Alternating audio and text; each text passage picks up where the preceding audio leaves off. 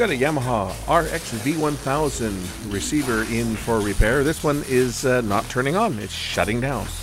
So it's going into a shutdown mode. That typically means that there's a problem and it's going into protection mode. Let's uh, take a look and see what's wrong with it. Got a Yamaha RX V1000 uh, in for service. Uh, this one here, don't laugh when you look inside this thing. This is kept outside. This is a, a patio receiver. And apparently it's going dead or shutting down. So let's just see what happens if I try to power this thing up. It's not even powering up. Okay, it just came on and then it went off.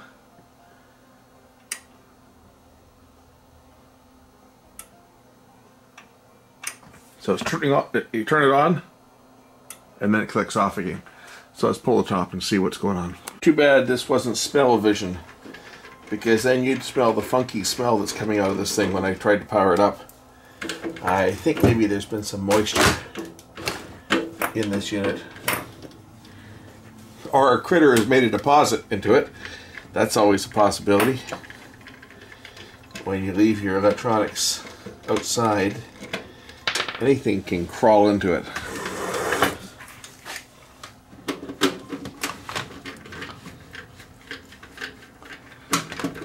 So let's pop it, top off, and see if there's something that's uh, indicating that it's failing.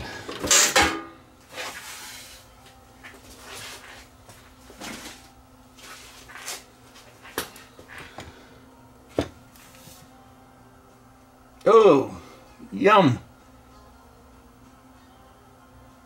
Yeah, the board.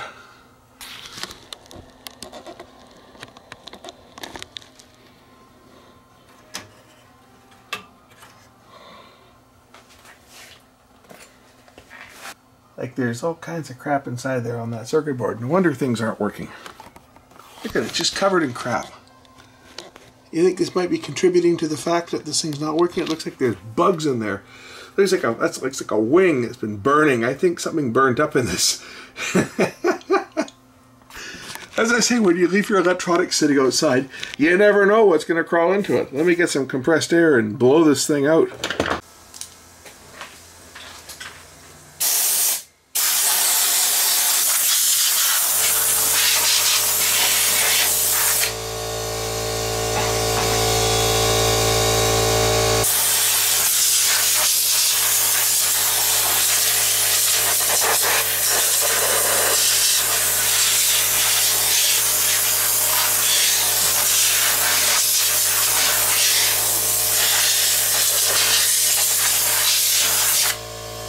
Let's see if it'll turn on now.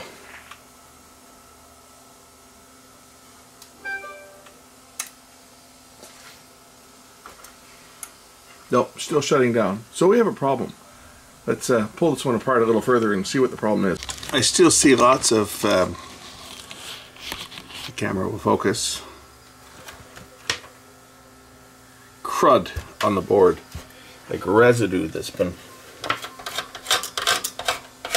like these are all metal um, straps, bridge things together, and there's there's probably leakage between them all. There's a good chance that there's some component, components that have failed too, due to due to these bugs that and they're shorting themselves out, and moisture.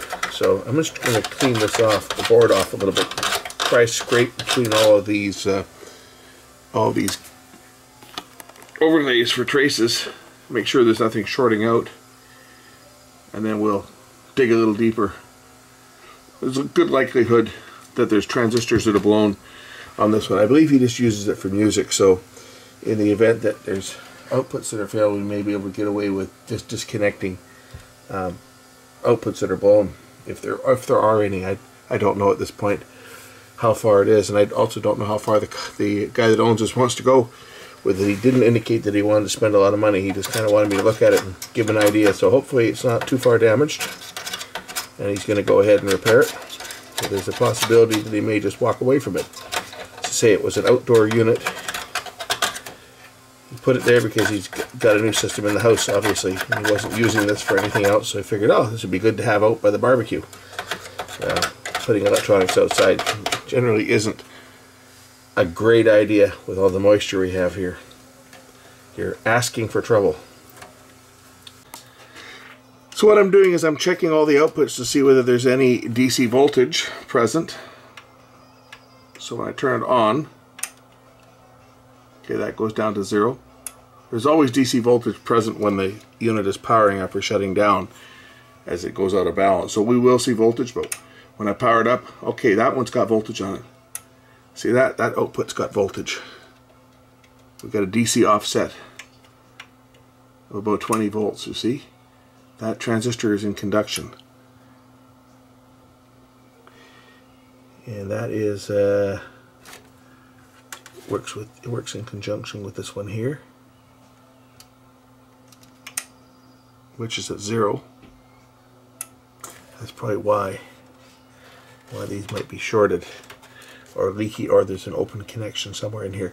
Something on this, this, this set of transistors here is where the fault is. So you got 31 volts on the transistor. And in the middle terminal here, the collector, well this will have your full rail voltage on it. 52 volts. This transistor might be open.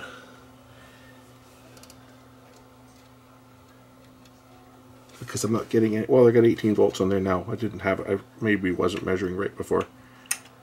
Got 31 volts. Yeah, that, that should not be there. That should be at zero. You see?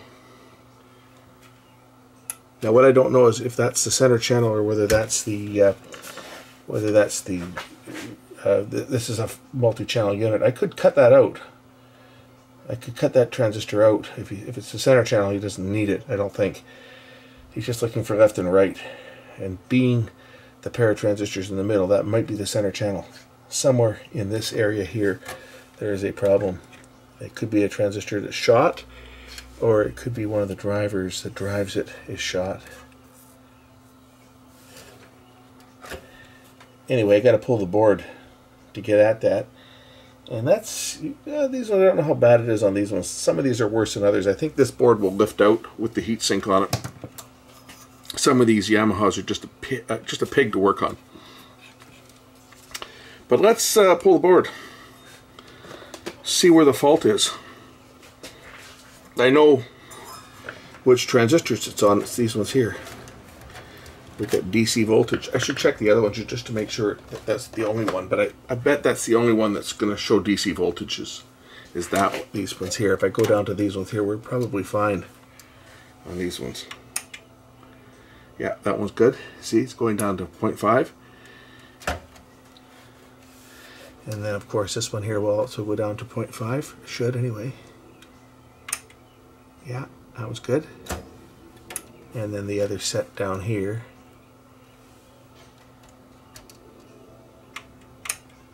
are also fine.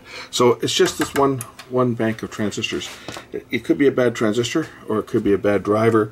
Um, if it's the center channel, which I think it is, as I say, I think he's only using this for stereo, so he'll probably have me just disconnect it, more than likely, rather than repair it.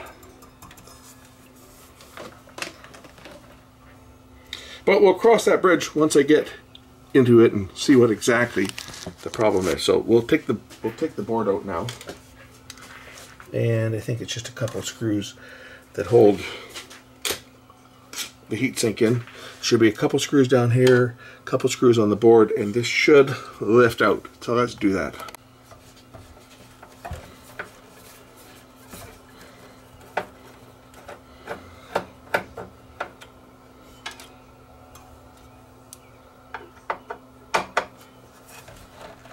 There's also screws that need to come out on the back, namely the ones around the, well, you'll see when I get the board out of here. Uh, because this board goes all the way to the back, it's got some of the speaker um, terminals on it. I May have to remove some connectors too to get this out of here.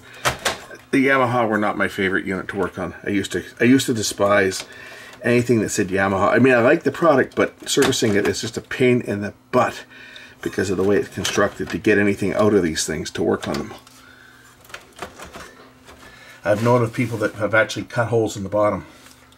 Like used a grinder and cut holes in the bottom so they could get at the bottom of the board so they could work on it just to make it easier than removing this whole board. Well, this board is not coming out.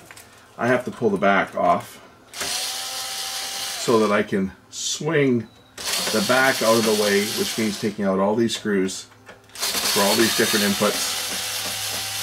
Uh, these are ugly to work on. I don't think the output, well I know the output transistors aren't blown. I, I know that, I've already tested them. The output transistors are not blown. It's likely a resistor that's gone open. Could be a driver transistor, but it's likely a resistor, maybe a 1 ohm resistor that's gone open. That's not providing a, a bias to one of the transistors. And of course, then the other one just goes into full saturation and it never settles down because there's nothing to nothing to balance it, nothing to counteract the DC voltage, and then the amp just goes into shutdown. I think it's the center channel. All right, I got all the screws out, I think. Most of them. I got, oh, I got, missed, got another one up here. And uh, the, I think these ones can stay on. But what I want to do is I want to lift the back up, or back out off the unit. Oh, I guess that one doesn't have to come off. It just, uh, just these ones have to come out on the back here.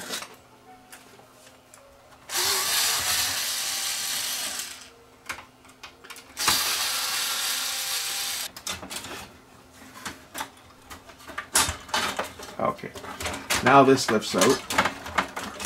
Now, I wonder if I can get the, disconnect my speakers. No point in having them connected, we're not going to be getting any sound anytime soon, so let's get the speakers out of the way. Now that this back is off, I can hopefully swing the amplifier board up.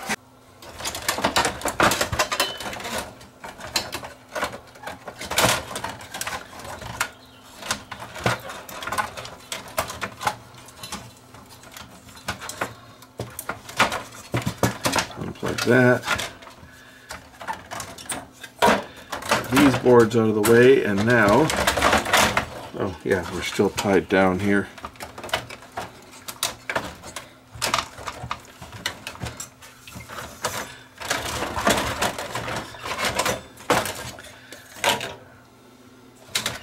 Really built for servicing, I tell you.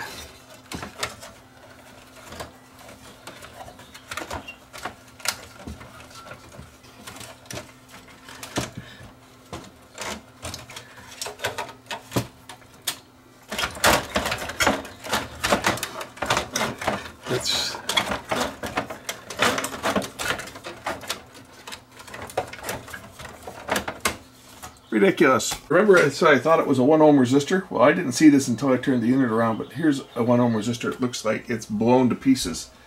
So, hmm. I wonder if I can just clip that and replace it without pulling the board. Because even at this state, this thing is not going to come out easy. The bloody wires are so short. So let's just clip that resistor out. See if I can tack another one on and um, see if it'll work.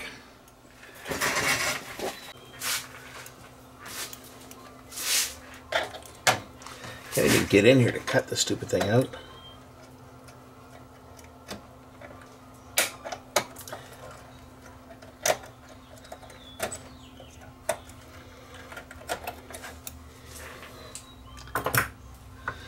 No room. Well, that's a 10 ohm resistor, but it's not blown. It's broken, but it's not open. So that won't fix it. If I put a new one in there, that's not going to do anything. But it's something in this circuit right in this area here um, that's affecting these two transistors. That one and that one. Those are the ones where I've got my, my voltage. Could be one of these drivers that are shot down here. But I got to get that board out to uh, get to that, and that's the tough part, getting the board out because it's it's wired in. Like there's there's it's wired in with other boards that don't unplug. They're hardwired, soldered in place, and basically I may have to remove the power transformer and this other power board back here because these wires are, do not disconnect. They're they're hardwired in, and they're not long enough to let me lift the board up. It's just, just an asinine design. So I just heard back from the guy that owns this unit, and he only uses this for music, two channels. So I believe that's the center channel. Um, I'm going to disconnect it and see whether the unit will fire up. And if it does, then we're going to leave it with just the center channel disconnected so that it can be used for music because the the time needed to get into this, to tear this thing down and actually troubleshoot it is going to exceed what the owner of it is prepared to pay to have it repaired. So this is going to turn into just try let's try to get it running as a stereo amp and save ourselves a bunch of time and aggravation getting to the bottom of that board. From the rack out of here going on across the street, I would say that my neighbor has installed a heat pump and they are running it. That thing's a lot louder than mine. It's been running all day. I mean, I've got one as well. I've had mine for 20 years. But the one I hear running now is a lot louder than mine. Mine's one of the quiet, well, quieter, I guess you could say, heat pumps. And put the screws back in that hold the uh, the board in place and I can put the back on it. And uh, we'll try disconnecting the center channel. Just want to get some screws in just so that I can test it before I put it all back together verify that it's going to work with the center channel disconnected I'm just going to clip the base off the transistors because then the transistors won't be in conduction and we shouldn't have any output we shouldn't have any DC voltage you see what I mean like just a ridiculous design when you build something this way where you've got to take everything apart just to do anything. You've got to pull all these boards out just to do anything. And even then, you can't because there's no room. So when you hear me say something like, I like Yamaha, I, I really mean I like Yamaha as far as sound of a Yamaha system when it's working. I absolutely despise Yamaha when it comes time to repair them. It was the one brand that I really disliked when I was servicing because they started pulling this crap long before everybody else as far as the amount of work that needed to be done to disassemble and to work on anything.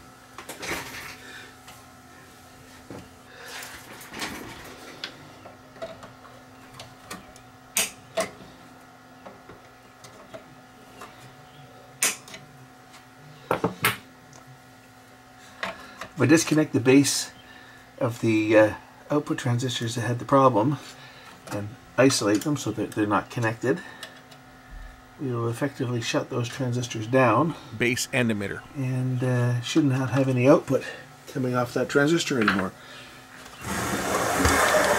Which means that the unit itself shouldn't go into protection. Okay, I'm pretty sure that's the center channel. It's either the center channel or one of the surround, I'm pretty sure.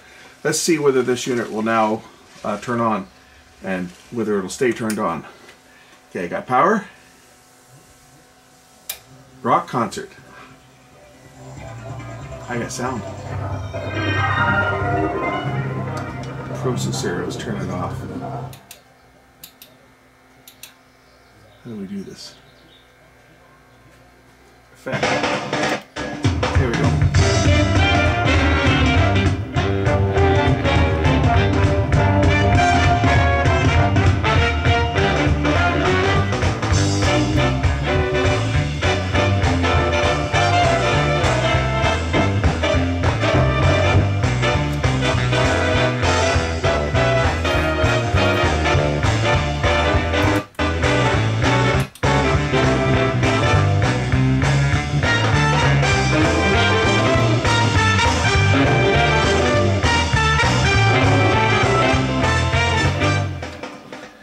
I think we're probably going to leave it at that. So we know that that center channel has a problem. It's got a DC voltage on there.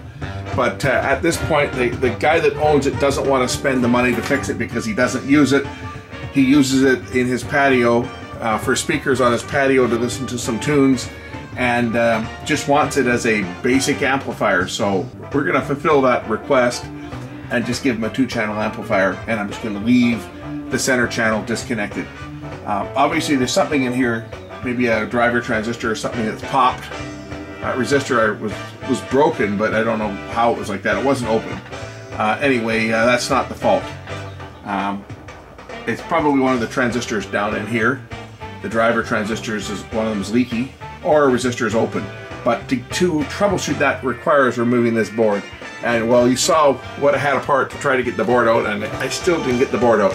I'd have to pull the transformer and the uh, power supply board, the standby power supply as well, to just to get enough clearance because of the stupid design with these stupid interconnects that there's just no way to remove them. They, they don't unplug, which is a, just a stupid design on Yamaha's side of things. But it's uh,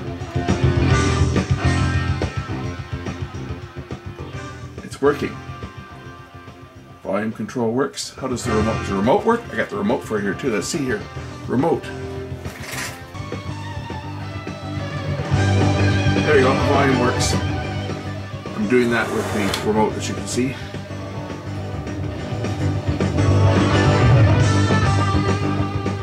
So it seems to be working. Yeah, I think it's sounding okay without the DSP and crap on. This is just receiving, like I got the radio tuning in for my little test transmitter, right? So,